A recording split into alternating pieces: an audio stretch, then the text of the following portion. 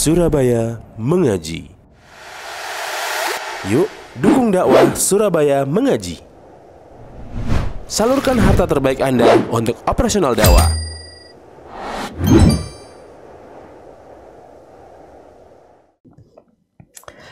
Istri yang tidak menghalangi suaminya beribadah.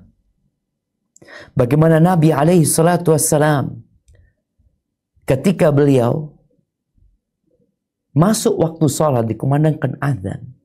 Beliau pergi meninggalkan rumahnya. Istri mempersiapkan suaminya untuk berangkat sholat. Bukan malah menghalangi suaminya untuk mendekatkan diri kepada Allah Azza wa Jal. Dia biarkan suaminya berangkat menuju ke rumah Allah Azza wa Jal. Bahkan Rasulullah Sallallahu Alaihi Wasallam bersabda dalam hadis yang diriwayatkan Abu Dawud. Beliau mengatakan, rahimallahu rajulan qama minal laili fasalla.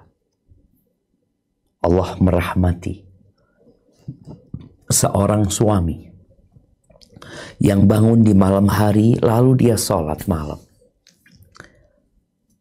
Wa ayqadha imra'atahu fasallat. Dan dia bangunkan istrinya untuk sholat. Ini suaminya sholat. Kemudian dia bangunkan istrinya untuk sholat kalau istri yang nggak mau sholat, dipercikan air agar dia bangun. Ketika istri nggak bangun, dipercikan air sampai bangun. Kemudian beliau mengatakan alaihi salatu wassalam, qamat minal laili fasal.